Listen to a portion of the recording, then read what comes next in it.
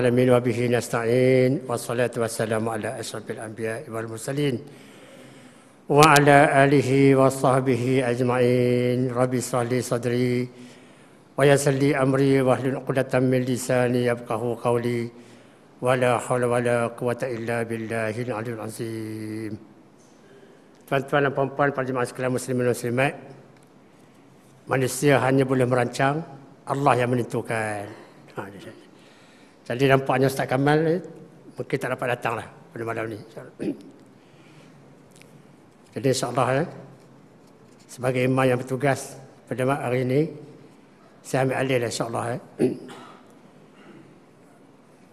Tuan-tuan dan perempuan, saya nak berkongsi maklumat dengan tuan-tuan dan perempuan mengenai dengan apakah yang dilakukan oleh para sahabat apabila mereka melibatkan diri dalam bidang perniagaan apa yang dia buatnya. Mudah-mudahan insyaAllah sekurang-kurangnya kalaupun kita tak dapat tiru 100%, tiru sipi-sipi pun jadilah. Apakah yang dapat dilakukan, apakah yang dilakukan oleh para sahabat apabila mereka melibatkan diri dalam bidang perniagaan. Jadi tuan-tuan dan puan eh, sahabat-sahabat Rasulullah ni, terutama sekali sahabat-sahabat yang besar-besar tu, hebat kan? Abu Bakar, Umar, Osman, Ali dan sebagainya tu. Mereka ni bukannya orang miskin. Apa kerana? Ada di perniagaan tu tuan Ha, tak ada. Memanglah ada yang memulai Islam bersama-sama dengan Rasulullah sallallahu alaihi wasallam orang miskin. Macam Bilal bin Rabah, itu memang miskin kan? Sebab hamba. Tetapi orang-orang Quraisy seperti Abu Bakar, Umar, Osman ni memang businessman. Ha, tak ada.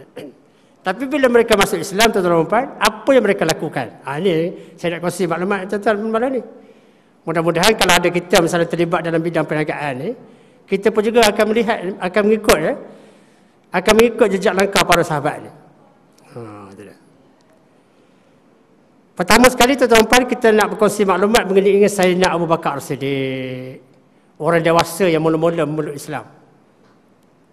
Orang dewasa yang mula-mula memeluk Islam, orang lelaki eh. Saya nak Abu Bakar Siddiq lah. Orang perempuan, isteri Rasulullah SAW, Khadijah. Radhanha. Mana kalau orang lelaki, orang dewasa, veteran, Abu Bakar Siddiq. Kanak-kanak pula Sayyidina Ali. Ha, Jadi Abu Bakar sebagaimana kita sedia maklum, ialah orang yang terawal sekali memeluk agama Islam. Dalam sebuah kitab, diceritakan bagaimana Abu Bakar radhiyallahu ni Abu Bakar Siddiq ni membelanjakan harta perniagaan dia. Sebab dia orang kaya kan? Yang pertama, ini kerana masuk Islam ni. Kalau tak jadi Islam, macam Abu Jahal lah. Dan Abu Lahab tak ada apa yang dia buatnya. Tetapi bila dah masuk Islam, kita lihat. Ya, dengan didikan Rasulullah SAW, pertama apa yang dia buatnya ialah membebaskan hamba. Bebaskan hamba. Ya. Jadi rupa-rupanya bila dibebaskan hamba abdi ni, harapan dia adalah supaya hamba abdi ni dapat membuat kerja untuk orang ramai.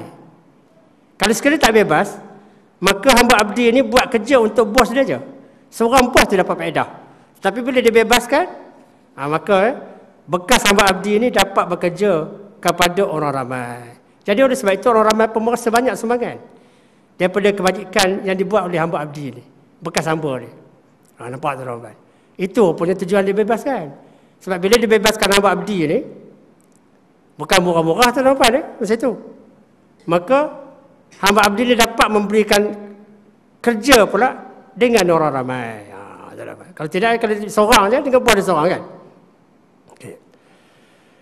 Setelahnya tuan-tuan dalam kitab uh, berkaitan dengan bagaimana Abu Bakar Siddiq ni menceburkan diri dalam bidang perniagaan.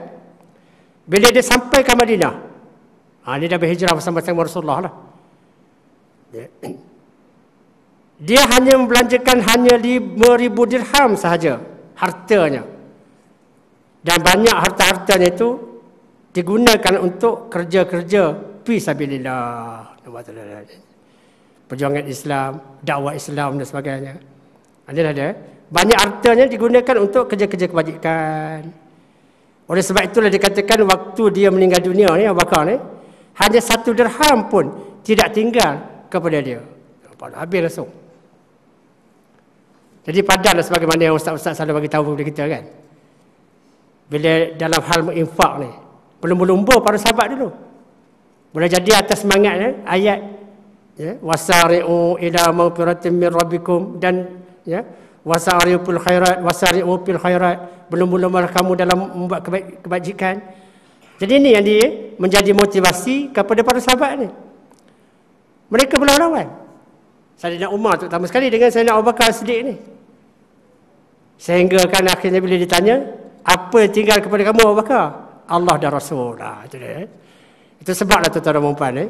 Bila dia meninggal dunia, tak ada apa pun dia tinggalkan. Eh. Tak ada apa satu pun dia tinggalkan. Hmm. Tuan-tuan dan puan para jemaah sekalian muslimin muslimat yang dimata Allah SWT. Kita lihat apa yang dilakukan oleh Sayyidina Abu Bakar ni sewaktu dia menjadi khalifah. Dia jalankan lagi bersenah atau macam mana? Ha, terus. Ini sekurang-kurang dapat pengajaran bagi pengajaran kita kan. Bila dah dapat satu jawatan, menteri besar ke, gubernur ke, nak buat bisnes lagi tak? Nah, kita lihat apa yang dilakukan oleh Abu Bakar Siddiq. Eh? Apabila dia dilantik menjadi khalifah, khalifah pertama umat Islam, eh? dia terus menjalankan perniagaan. Ha, apa tu? Kena buat kerja juga. Eh? Dan bila dia terpaksa menjalankan perniagaan, nak mentadbir pun mentadbir juga sebagai khalifah.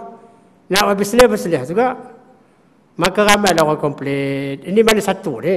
Ha, nak jalan khalifah ke nak menjaga? Ha, apa ni? Tetapi apa yang di, yang di, yang dinyatakan ni, di sini di dalam cerita ni ialah dia terpaksa buat kerja tu sebab tak ada gaji. Khalifah tu nampak mana ada gaji? Ha nampak tu dah. Tak ada gaji tu nampak. Ha, jadi sebab itu tuan puan sewaktu dia menjadi khalifah dia terpaksa juga menjalankan perniagaan sehingga ke Basrah. Jauh tempat tu daripada, daripada Madinah tuan puan, Basrah eh? Dan dia masih lagi nak berniaga di pasar. Masih lagi nak berniaga di pasar kan? Tetapi para sahabat melarang. Dia kata janganlah, tu susah khalifah nak berniaga lagi buat apa? Nah, tak, tak, tak. Jadi akhir sekali, macam mana cara nak menyelesaikan benda? Ha, ya? Terpaksalah dia diberi sagu hati. Bagi sagu hati orang kan? Bukan dia gaji. Ha, ya? Jadi terpaksalah ya? para sahabat memberikan sagu hati dengan mengambil wang daripada batu mal. Ha, barulah dia berhenti berniaga. Itu dia. Apabila ya, para sahabat menetapkan bayaran untuk dia. Ha, itu dia. Dan bayaran ini diambil daripada batu mal. Dan dinyatakan di sini bahawa dia punya allowance ni yang dia ambil daripada batu mal ni untuk mencegah dia dengan dia buat bisnes lagi sama harga dengan seekor kambing. Itu je banyak tu. Allah Akbar. Jadi oleh sebab itu tuan-tuan ya, berdasarkan perkara ni peristiwa ni di mana ya, orang yang takbir ni boleh diberi gaji maka para ulama pun mengambil kesimpulan. Dia kata oh, boleh kita eh, menjalankan urusan-urusan ni pentadbiran ni boleh mengambil atau menerima gaji atau upah ataupun jawapan. Islam membenarkan. Kalau dia menjadi apa-apa pegawai-pegawai dan sebagainya yang menguruskan hal umat maka harus atau boleh dia diberi bayaran sebagai gaji dan sebagainya khidmat untuk orang ramai itu semua semua semua tu eh, semua tu akan merantai-rantai hukum-hukumnya. Macam dulu kan zaman Rasulullah. Orang yang mengajar Quran, mana dapat gaji? Orang yang berdakwah macam ni kan? Mana dapat bayaran apa-apa dan sebagainya? Ha, sekarang, eh? sekarang kita bagi kan? Rupanya kata ulama harus. Ha, okay. ha, itu sebab sikit tuan-tuan cerita mengenai dengan Sayyidina Abu Bakar As-Siddiq. Kita tengok pula eh, apa pula yang dilakukan oleh Sayyidina Umar Al-Khattab. Okay. Sayyidina Umar Khattab ni pun pernah menjadi khalifah. Pernah menjadi khalifah. Eh? Walau bagaimana pun tuan tuan ha, tengok. Ha, ini special pula cerita. Eh? Sayyidina Umar Khattab ni. Walaupun dia sibuk menjalankan kerja-kerja pentadbiran kan. Tetapi kerja-kerja jihad, kerja-kerja dakwah, dia buat juga. Ha, eh? Dia buat juga kerja-kerja jihad sebagai kerja utama selepas dia berniaga. Mereka berniaga juga. Jihad-jihad juga. Ini menjadi pengajaran bagi kita tuan-tuan. Eh? Maknanya kalau kita sibuk berniaga dan sebagainya atau apa-apa saja, berjihad pisabilillah jangan lupa. Berjihad ni tu tuan-tuan eh. Zaman dulu memanglah berperang. Zaman sekarang ni para ulama telah meluaskan konsep jihad ni kepada semua kerja-kerja yang berkaitan dengan Islam. Jihad itu. Ini bila kita dah sibuk misalnya berjaga atau sibuk dengan kerja-kerja kita kan. Tak ada lagi kita nak berjihad. Nak berdakwah ke misalnya. Nak bersama-sama dengan orang ramai ke. Itu merupakan jihad. Dia asyik berjaga je siang malam, pagi petang, subuh senja. Hari minggu pun berjaga juga dan sebagainya. Kita lihat bagaimana, bagaimana yang dibuat oleh Khalifah Umar Al-Khattab ni kan. Walaupun sibuk dengan perniagaan. Sibuk dengan kerja khalifah. Tetapi dia juga tetap berjihad. Fisabilillah. Ha, okay, dan juga tetap menjalankan kerja-kerja dakwah Islamiah. Jadi sebab itu tuan-tuan, berdasarkan dua peristiwa ni, apa yang kita dapat ambil? Yang pertama di perniagaan walaupun sibuk dengan urusan dunia, perlu mengambil tahu dan berjihad menegakkan agama Allah. Itu dia. Sebab semua tu akan dapat pahala. Yang kedua, kita mesti mengambil peduli hal yang berlaku kepada agama Islam dan syariat Islam. Itu yang kedua. Jangan pula kita kesebut misalnya perniagaan kita, bisnes kita dan sebagainya. Lantaklah pun berlaku pun. Ha, ya. Orang nak gunakan surau untuk eh, buat meditasi pun lantaklah. Ha. Itu dia punya pasal. Langsung tak tahu langsung cerita tu. Orang nak menghina Islam lantaklah. Orang nak eh, tutup surau lantaklah. Aku peduli apa. Ya. Aku bukan pun lagu surau. Nampak tu jalan. Ada setengah-setengah orang begitu. Tak peduli langsung apa yang berlaku. Ya. Lantaklah tu kamu punya pasal lah surau kamu kena tutup tu pasal lah. Ha, Langsung tak ambil hal. Ha. Jadi berdasarkan pengajaran daripada yang, yang kita sebut tadi, hal ini tidak sepatutnya berlaku kepada orang-orang mukmin atau orang Islam. Kemudian setelahnya turut serta berjuang dan memberi semangat untuk perjuangan menegakkan Islam. Walaupun sibuk macam mana pun. Yang keempat, membantu pihak-pihak yang berjuang menegakkan Islam dan hukum-hukumnya. Ha, ini penting ni. Kadang-kadang itu ya, politik punya hal tu lantaklah. Ha baru. Ya. Aku kira aku je. Sedangkan eh kalau ikut apa yang dilakukan oleh para khalifah dulu mereka ni sentiasa membantu menegakkan Islam dan juga hukum-hukumnya. Wajib bagi kita. Ya. Setelah itu tuan-tuan tidak menggunakan kekayaan bagi membantu pihak yang menentang Islam atau enggan menegakkan syariat Islam. Nampak tak? kekayaan kita nanti akan disoal oleh Allah taala. Segala apa yang ada pada kita kan. Kamu dulu waktu kaya raya dulu, waktu hidup dunia, ada tak kamu menyumbang untuk eh, uh, menegakkan syiar Islam? Ada tak kamu menyumbang untuk eh, menyokong pergerakan Islam? Ataupun eh, kepada pihak-pihak yang ingin memperjuangkan Islam? Tak ada. Ha, tak ada, tak ada. Ya. Harta benda dan kekayaan yang didapati adalah nikmat Allah yang akan ditanya Kelak, adakah dia menggunakan untuk membantu Islam atau sebaliknya? Sebab ada juga orang kaya-kaya. Dia gunakan duit itu bukan eh, nak membantu Islam tapi menentang Islam dan sebagainya. Ada? Ya. okay. Yang ketiga, kita lihat pula apa yang dilakukan oleh Osman bin Affan radhiyallahu ini khalifah Islam yang ketiga. Dia ni juga tuan-tuan ialah ahli perniagaan. Sebelum Islam pun ahli perniagaan dan masuk Islam pun jadi ahli perniagaan juga. Ha, jadi maknanya tuan-tuan dan eh, orang kurang yang masuk Islam dulu terbahagi kepada dua kumpulan. Satu orang kaya, yang kedua orang miskin. Tapi yang ramainya orang miskin lah. Orang kaya ada juga. Inilah macam Sayyidina Osman ni. Sebab satu dia belum belum meluk Islam, dia juga ahli perniagaan. Ya.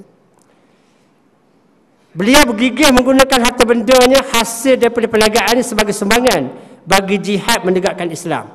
Misalnya di dalam peperangan Tabuk, dia telah menyumbangkan 40 dinar yang diserahkan kepada Rasulullah bagi membiayai peperangan itu. 40 dinar kita nampak kecil kan angka dah. Tapi duit dinar ni besar tuan kan.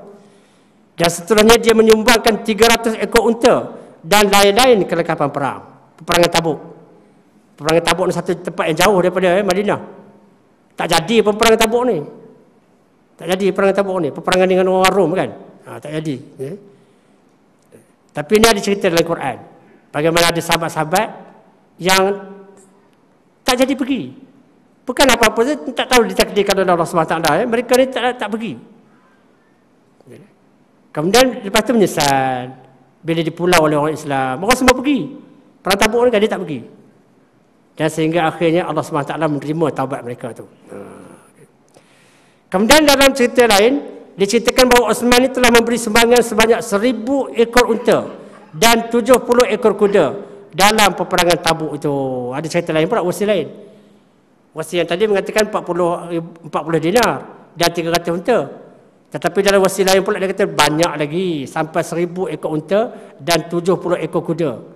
Nampak tu tuan Jadi maknanya para sahabat zaman dulu tu eh, sebahagian besar daripada kekayaan mereka itu disumbangkan untuk pembangunan Islam. Kita bersyukur pada mereka tuan-tuan. Kalau mereka tak berjuang, tak menghabiskan harta benda mereka untuk perkembangan Islam, tak sampai Islam tempat kita tuan-tuan. Agaknya malam ni tak ada kita di sini ni. Di Batu Kek kita. Well, well, well, well, well, well, well, well. Ha, baru. Tapi semuanya mereka ni tuan-tuan eh, dengan harta benda mereka yang dihabiskan begitu banyaknya, untuk membiayai peperangan. Sebab dalam tetap peperangan eh, Rasulullah sentiasa berdoa. Dia kata, Ya Allah Tuhanku, kalau sekiranya kalahlah dalam peperangan ini, maknanya Allah tak akan disembah lagi dalam dunia ni. Allah tak akan disembah lagi di muka bumi ni. Itulah selalu doa yang diucapkan oleh baginda Rasul apabila berlaku peperangan. Maknanya kalau dalam satu peperangan penting kan, macam peperangan Badar, peperangan Uhud, peperangan Hunain, Rasulullah sentiasa berdoa dengan menggunakan ayat itu. Dia kata, Ya Allah, engkau bantulah kami. Kalau sekiranya kami tewas, maka Islam tak akan ada lagi di muka bumi ini. Nampak tak? Itu cerita orang baik. Ya. Jadi oleh sebab itu banyak sungguh jasa para sahabat itu. Jasa harta benda mereka ni. Yang sehingga akhirnya dikembangkan Islam itu sampai seluruh dunia. Okay. Sekarang kita lihat pula, ya, rupa-rupanya yang beri sumbangan ini bukan orang lelaki-lelaki, orang perempuan pun ada. Tak lain dan tak bukan ialah isteri baginda Rasulullah yang bernama Khadijah radhiyallahu anha. Nah, dia. Jadi tuan-tuan dan puan Khadijah ni sebagaimana kita sedia maklum, ialah seorang janda pada masa itu. Tetapi bila dia dah kahwin dengan Rasulullah sallallahu alaihi wasallam, semua isteri Rasulullah sallallahu alaihi wasallam tuan-tuan dan puan, kata ulama, bila telah diceraikan atau telah mati, telah wafat Rasulullah, kita tak boleh ya, sebut status mereka itu sebagai janda. Tak boleh. Cuba dengar kuliah Ustaz Azhar Idrus. Dia kata biadab kita. Tak sepatutnya isteri Rasulullah ni setelah wafatnya kita gelar dia sebagai janda. Nak kata janda kan nak kata balu tak boleh. Nah, itu satu. Kemudian yang keduanya ini sebagai uh, sebagai selingan ya untuk maklumat kita. Kita ni tak boleh kahwin dengan isteri Rasulullah. Itu sebab dikatakan isteri Rasulullah ni, semua isteri-isteri baginda ni disebut umul mukminin.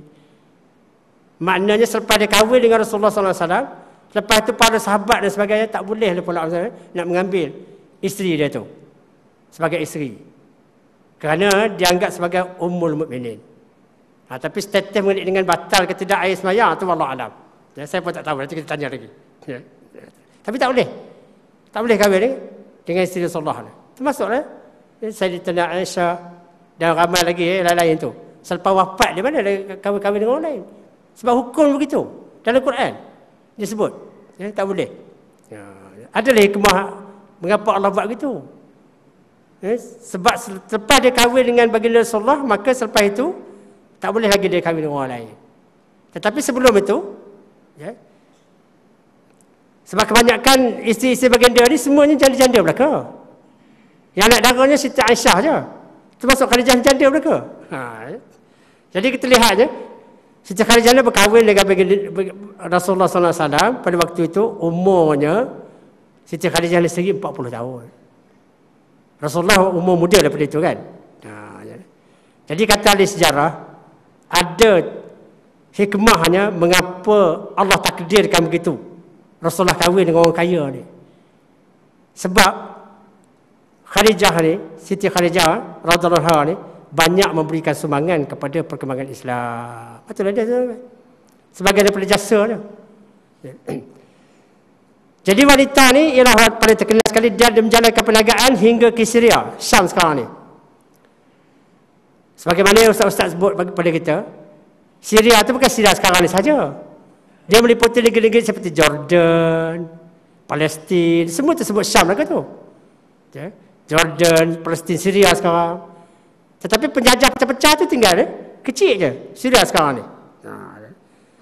Jadi maknanya dia ni menjalankan perniagaan sampai ke situ. Dan akhirnya bila dia kahwin, eh, dia sebelum dia kahwin dengan Rasulullah SAW, tak larat agaknya dia nak pergi ke situ. Dia menghantar Muhammad yang sebelum itu, eh, belum jadi nanti jadi Rasul, sebagai orang yang menjalankan perniagaan dia. Sebab dia tahu. Cerita Nabi Muhammad SAW ni sebagai orang yang jujur, orang yang baik, semua orang terkenal. Akhir dia janda kaya dia sendiri pun. Nak gunakan dia untuk menjalankan perniagaan. Ha, ya. Jadi kemudiannya, dia pun memberikan modal untuk Rasulullah ni, yang masa itu belum lagi jadi Nabi, untuk menjalankan perniagaan bersama-sama dengan seorang pembantu yang bernama Maisarah. Masalah nama orang lelaki tu kan. Tapi sekarang ni kita banyak orang, orang kita sekarang ni berbuat nama anak perempuan. Ha, kan? Sebab dia ujung kan, rah kan. Ha.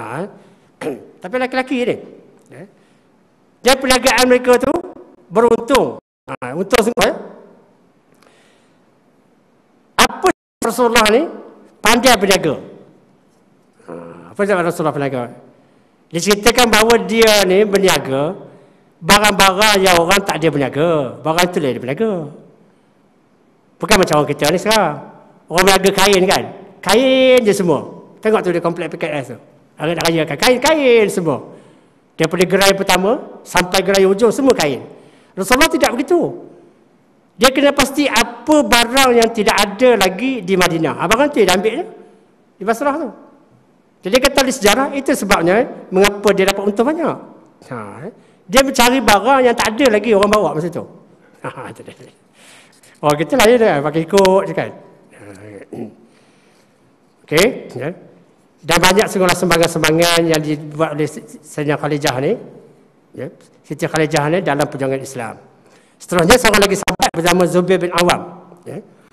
Zubair bin Awam ni adalah seorang pelaga yang jujur. Kerana kejujurannya dia dapat untung lumayan. Katanya dia tidak pernah menjual barang-barang yang rosak, yang cacat. Semua barang-barangnya berkualiti, baik. Eh? Dan juga ber, uh, baik dan juga cantik. Uh, ini saya, catat daripada kitab ni. Ya. Maknanya tuan-tuan dan eh? kalau nak berniaga ni, kalau ikut pengalaman Zubair bin Awam, tak mesti menipu. Ini ceritakan eh, bagaimana dia dapat untung. Sebab katanya dia pun tak pernah berniaga barang-barang yang rosak, barang-barang yang cacat. Maknanya barang-barang reject tak pernah dia berniaga. Lain pula dengan orang kita setengah kan. Kalau musim kan. Di kampung-kampung lah. Elok dah derian tu dah tebuk tupai kan. Sumbat dengan tanah liat. Ha, nampak tu. Sumbat dengan tanah liat. Ada tu, tu dah tiga ulas je dah elok je. Jual dia katakan eh. Berhenti tepi jalan, dia jual tepi jalan masa tu. Ada tengok pelik kata. Dah value. Ha, ni Kuala Lumpur ni. Ha, kalau boleh cak. Potong lagi. Sedangkan mereka ambil di dusun Riyad tu 50 sen sebiji. Ai mana Ustaz tahu? Saya tahu je. Sebab ada dusun Riyad. Ambil kita 50 sen sebiji tuan-tuan. Dia jual dia bertimbang. Sebiji tu kadang-kadang yang beratnya sampai RM5. Saya tuan-tuan eh. Ah tu tak apa tak kisah tu nak ambil untung. Tapi yang kita sakit hati dia bila yang tebuk ditupai masuk yang tanah liat elok je kan. Ha jual orang. Ini tidak dilakukan oleh Zubair bin Awam ya, sehingga dia dapat untung banyak. Ya. Di samping itu beliau redha dan tawakal kepada Allah waktu menjalankan perniagaan. Dia tidak ada niat untuk mencari untung banyak, hanya berniaga saja. Jika laku dan laris, maka itu adalah kerana berkat tawakal kepada Allah SWT. Dan waktu itu tak ada untung. Ada rezeki untung laku, tak ada tak. Tak apa Tak ada untung banyak, tak perlu ambil banyak. Sedangkan kita kadang-kadang ya Allah SWT. Untung ambil berlipat ganda tuan-tuan. Kadang-kadang kita ambil barang-barang daripada luar kan. Kita beli misalnya selai, kain ke misalnya kan. RM5 je. Kita jual sini sampai RM50. Berapa kali lipat tuan-tuan? Betul? Berapa kali lipat tuan-tuan? Eh? Memang tak salah tuan-tuan. Tetapi di segi akhlak ni kan eh, tak elok macam tu kan. Berganda-ganda sangat kan. Nah, Jadi kesimpulan rasakan eh, apa yang dilakukan oleh bin Awam ni, Sifat jujur akan menyebabkan pelanggan percaya. Jika barang-barang yang dijual itu berkualiti dan baik, orang akan datang membeli walaupun tidak diiklankan. Tak payah kita iklankan. Orang tahu masalahnya. Daripada mulut manusia, daripada satu mulut ke satu mulut, daripada satu mulut ke satu mulut. Ha, masalahnya, insyaAllah.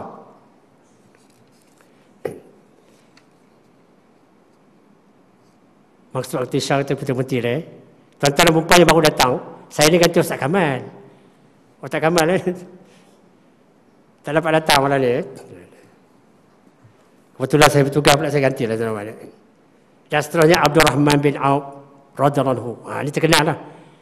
Mana bila sebut nama di perniagaan di zaman Rasulullah sallallahu alaihi wasallam mesti ada nama Abdul Rahman bin Auf. Bukan dia seorang tuan-tuan. Kan kita dah tengok tadi kan. Zubair bin Awam, Osman bin Affan. Tetapi yang famousnya ialah Abdul Rahman bin Auf. Sebab pandai sungguh dia ni. Pandai sungguh tu yang famous tu. Waktu dia datang daripada Mekah, berhijrah ke Madinah, dengan cerita dia selas pinggang je. Ataupun orang bahasa sekarang kan, gigi dengan lidah je. Nampak tu? Dengan lidah je kan. Ya. Tetapi bila dia sampai ke Madinah, ya, dia kata mana pasar? Ha, ya. Orang-orang asal masa tu bagi dia sikit je. Daripada modal kecil tu tuan-tuan, kemudian dia jadi kaya-raya pula. Sehingga dikatakan eh, Abdul Rahman bin Auf ni dapat mengalahkan ahli-ahli perniagaan Yahudi di Madinah masa itu. Ha, itu yang terkenal itu. Ya. Mari kita tengok eh, apa yang dia buat. Ha.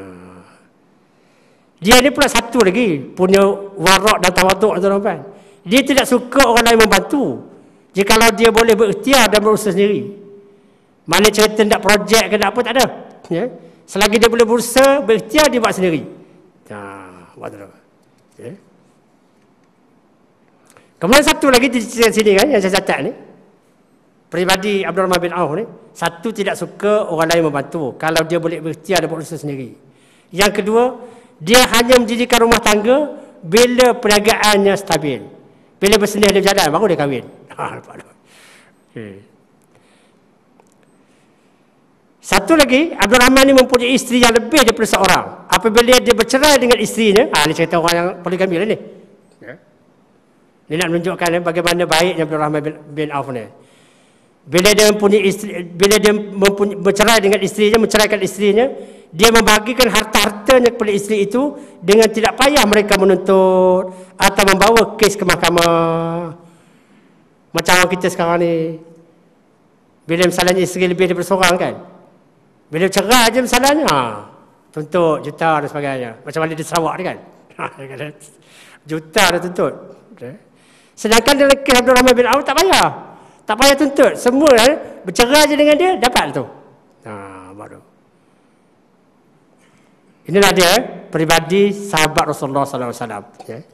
Tuan-tuan dan puan-puan perjemaah sekalian muslimin muslimat eh. Sikit lagi tuan-tuan eh. InsyaAllah. Masuk waktu Isya nanti kita akan eh, berhenti. InsyaAllah.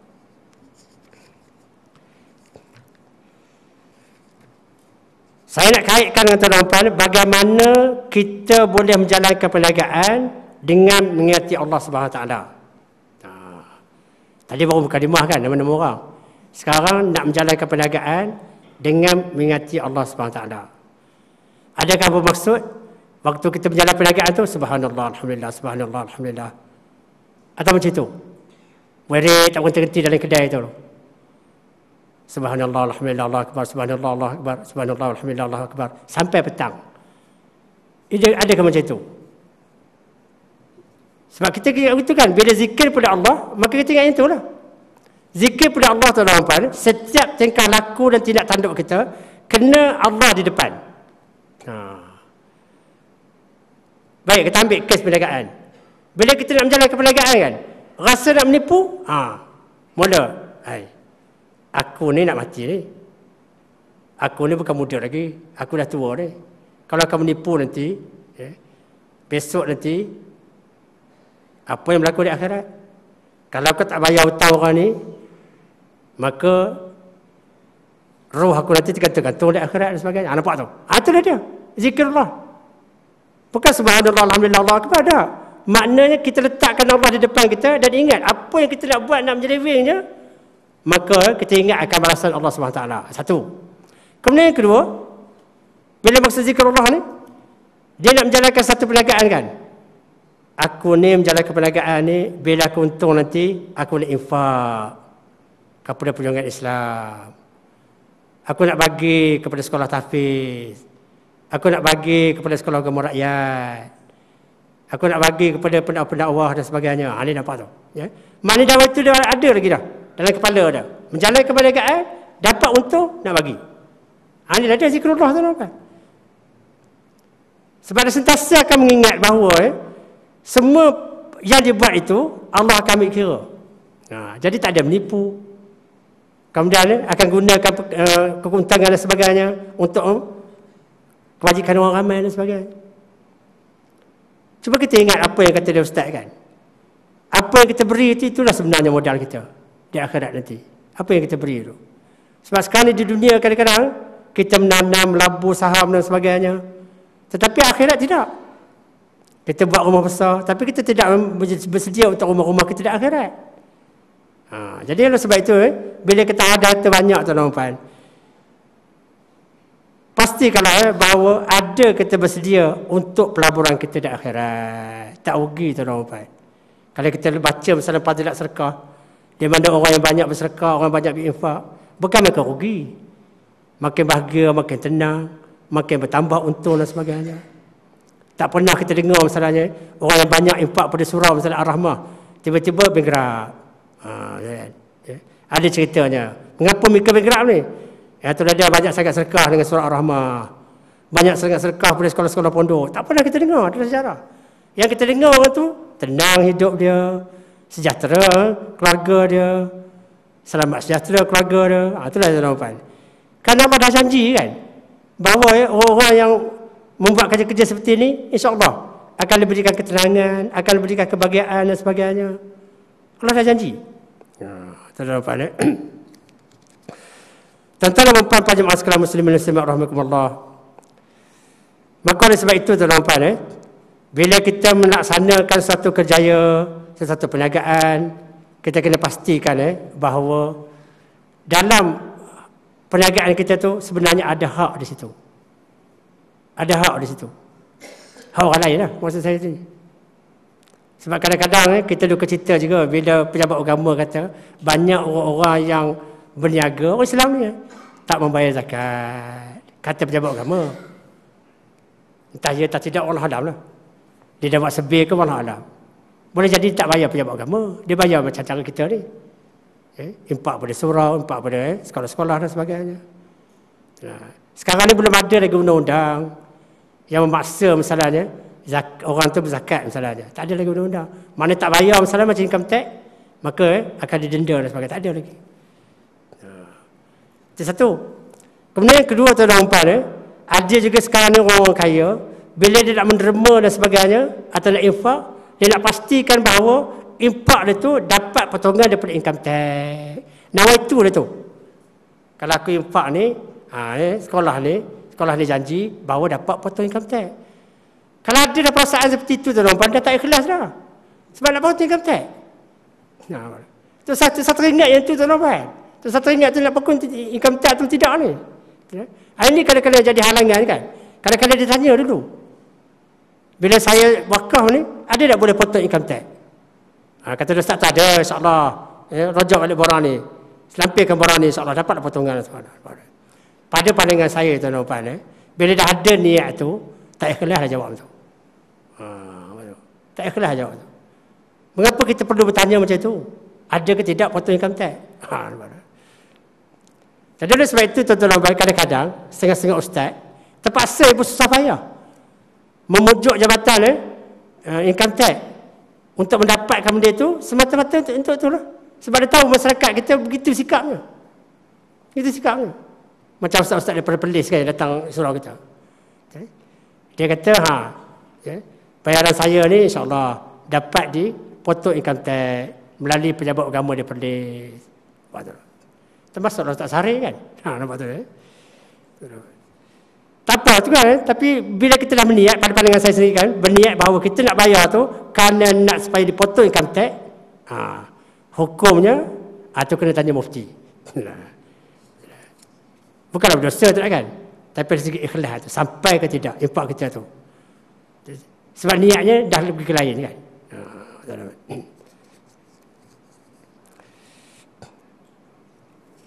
dah ada masa waktu belum lagi? Sekali lagi tuan-tuan. Jadi akhir sekali tuan-tuan eh. Akhir sekali nak cerita mengenai dengan surau kita lah. Alhamdulillah. Ya. Sekarang ni belum ramai lagi kita datang.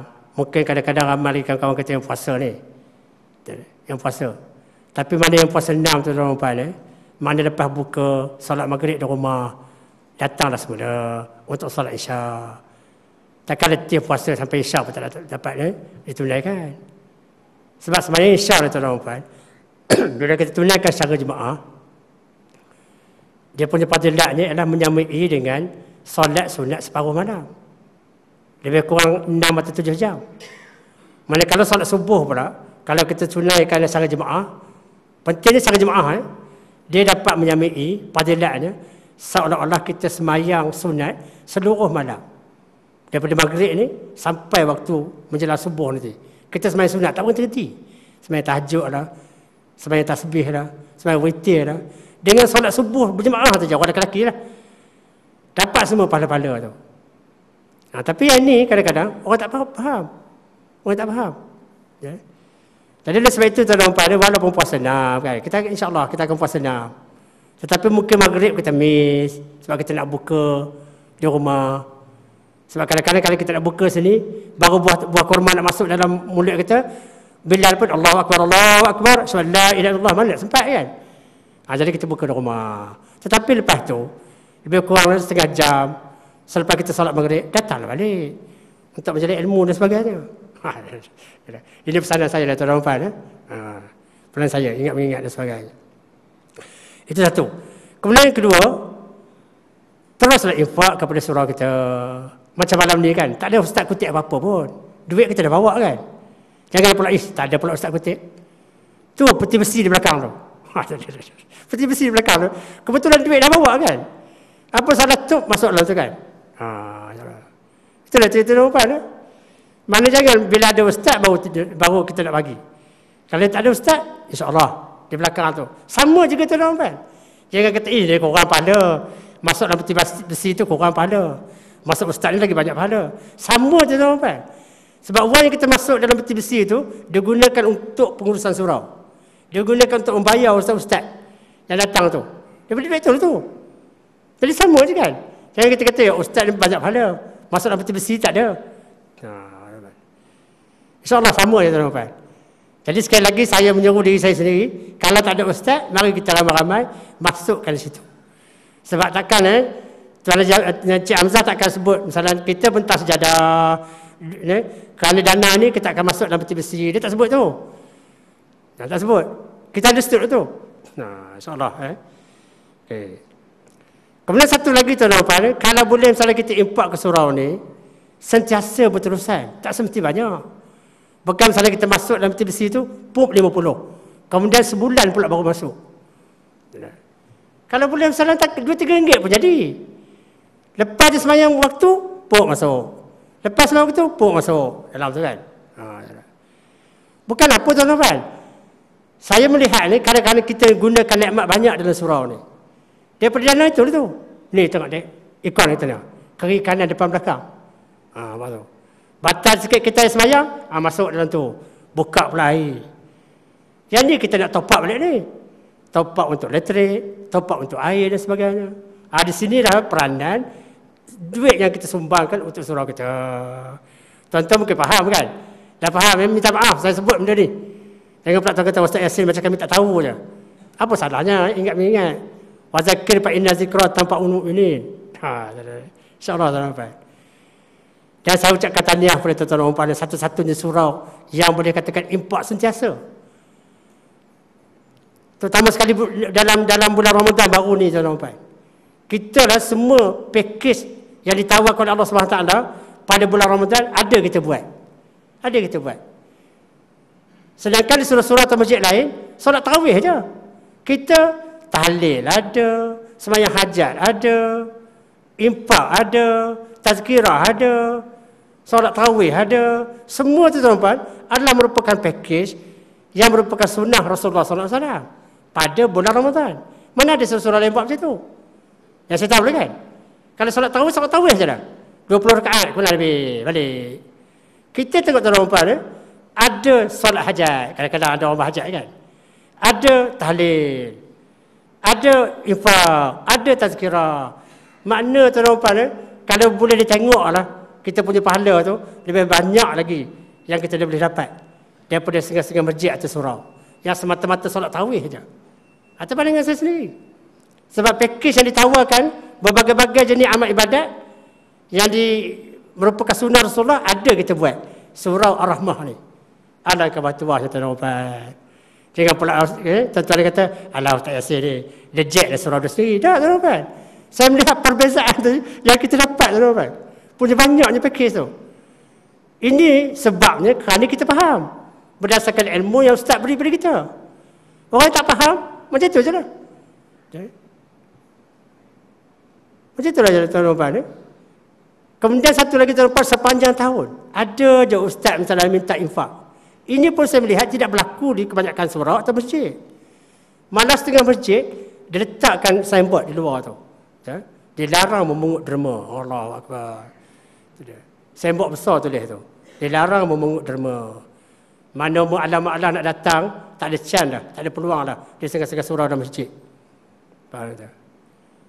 Mengapa eh, kita nak buat pahala disekat macam tu?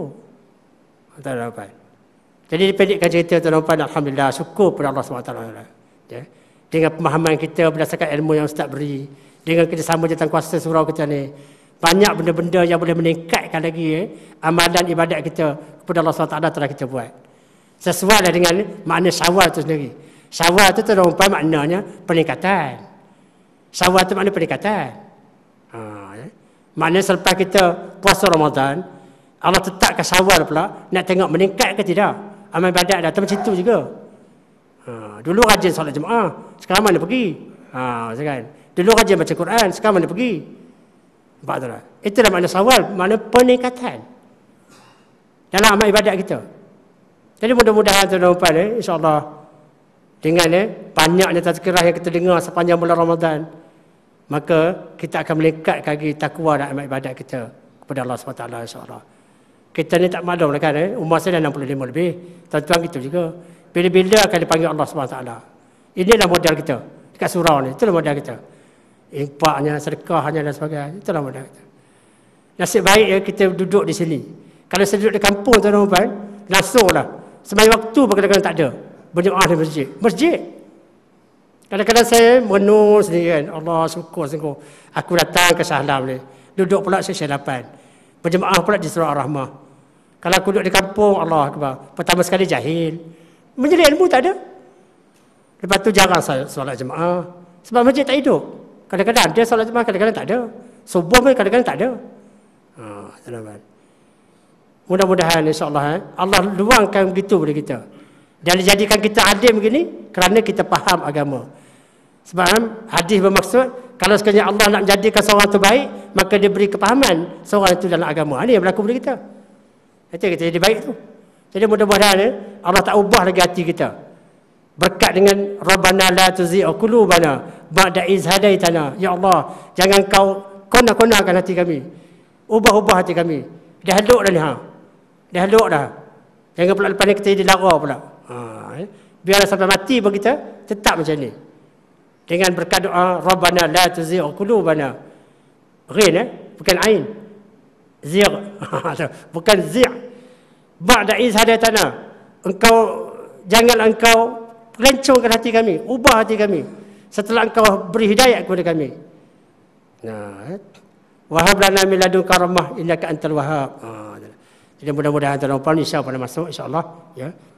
Jadi sebagaimana kita sedia maklum Ustaz Kamal tak dapat datang malam ni ya. Besok insya-Allah ada tu. Ya. Wallahu a'lam subhanakallahumma bihamdika asyhadu an la ilaha illa anta astaghfiruka wa atubu ilaik.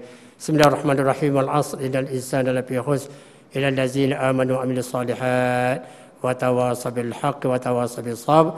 Wa billahi taufiq. Wassalamualaikum warahmatullahi wabarakatuh.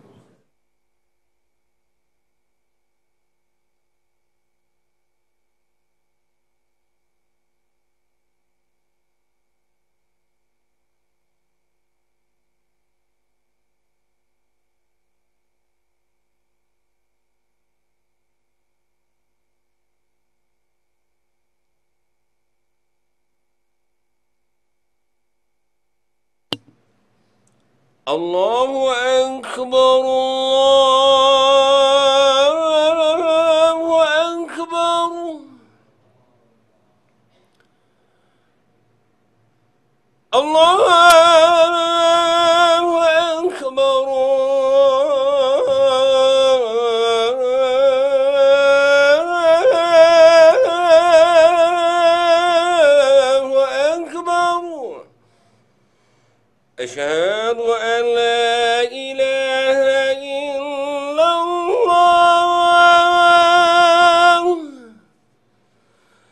أشهد أن لا